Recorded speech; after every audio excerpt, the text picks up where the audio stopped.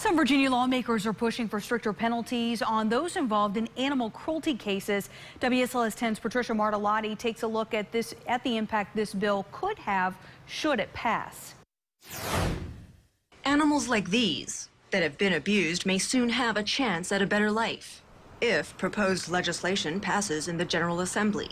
The new law would make it a felony to even harm an animal, much tougher than the current standard.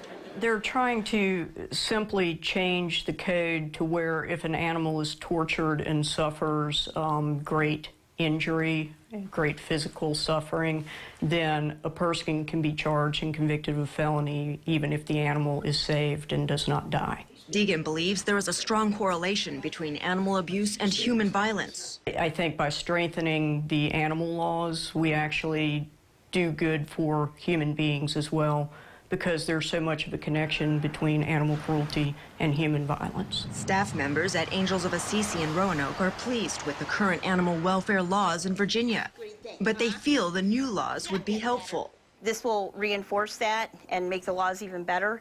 Workers at Angels of Assisi says they get an average of 100 animal abuse cases every year.